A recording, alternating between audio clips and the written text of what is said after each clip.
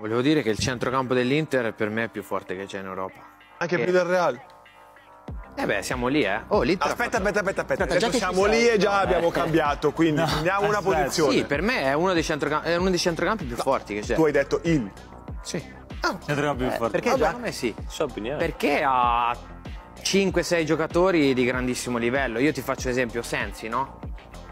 Sensi che eh, se sta bene, per me è uno dei giocatori più forti che c'è a livello di qualità. Te ci hai giocato, no, Borca? sì. Quindi lo sai.